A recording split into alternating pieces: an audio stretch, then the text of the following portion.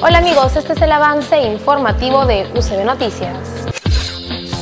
Luz verde para Chavimochic. Consejo Regional aprobó transferencia de partida presupuestaria para inicio de tercera etapa de Chavimochic. Algunos consejeros cuestionaron uso de dicho dinero, mientras que presidente Burgia se comprometió a no afectar lo proyectado en 2014 a responder por subvenciones.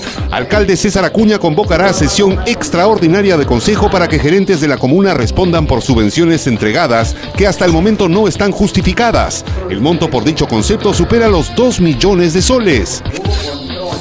Seguridad Bolivariana. Secretario del COPROSEC anunció que se capacitará a 600 integrantes del voluntariado de seguridad ciudadana para los Juegos Bolivarianos. Se trata de líderes vecinales acreditados con los que cuenta la provincia. Multa colosal.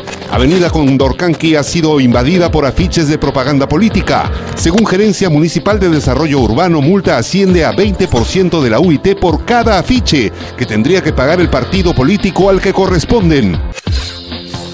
Mañana reabren el puerto. Decenas de pescadores artesanales de Salaberry son afectados económicamente por el cierre del puerto que ya cumple cinco días. Aprovechan el tiempo libre para reparar sus embarcaciones. Desesperada. Madre de familia teme que su hijo sea asesinado por delincuentes de El Porvenir, quienes desde el fin de semana le exigen el pago de 20 mil soles. Su vivienda fue baleada en horas de la madrugada. Amigos, esto fue un adelanto de lo que verán esta noche a las 8 en la edición central de UCB Noticias. Continúen disfrutando de la programación de UCB Satelital. Permiso.